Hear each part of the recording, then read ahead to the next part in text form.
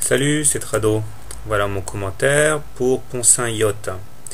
Alors, la valeur est vraiment pas facile à trader parce que nous sommes dans un vaste triangle de consolidation vert qui amène euh, le cours à faire des rotations à l'intérieur.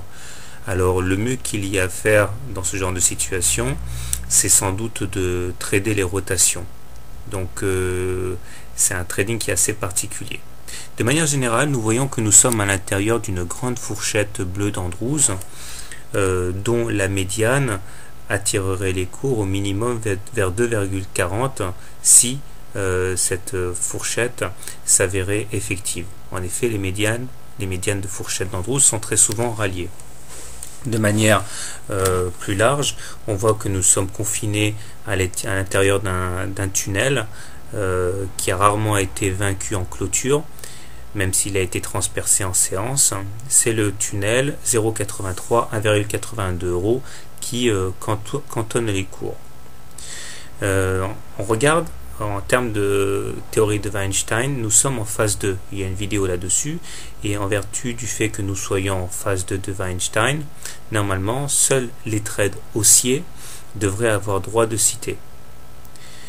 Les indicateurs techniques sont très mitigés puisque si le MACD montre une orientation plutôt favorable, puisque le MACD est au-dessus de son signal, ce n'est pas du tout le cas du stochastique qui est plus nerveux et qui par contre lui est en dessous de son signal. Le momentum tente d'envoyer un signal positif puisqu'il est supérieur à 0, mais euh, il flirte avec la zone de neutralité et manque sérieusement de conviction. Alors, comment trader la valeur? Je pense, comme je l'ai dit en début de vidéo, que c'est dangereux de trader une valeur comme ça, à moins de faire des swings, à savoir on joue euh, les rotations à l'intérieur du triangle.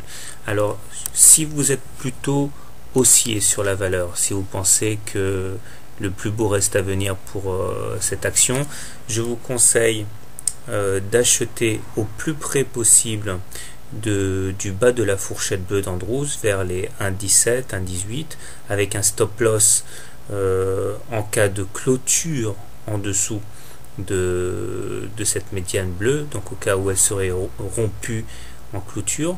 Vous pouvez également jouer la sécurité en étant long le plus près possible de la base du triangle vert avec un stop loss en dessous de 0,76, l'objectif étant une rotation dans le triangle vert, c'est-à-dire un retour sur 1,73.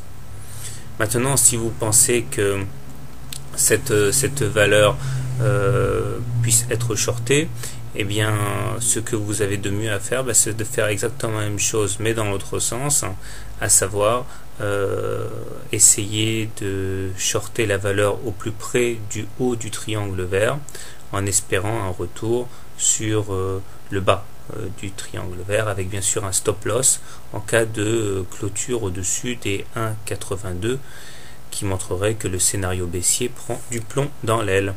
Voilà, personnellement je vais préférer l'option haussière, donc rentrer long le plus près possible de la base du triangle vert.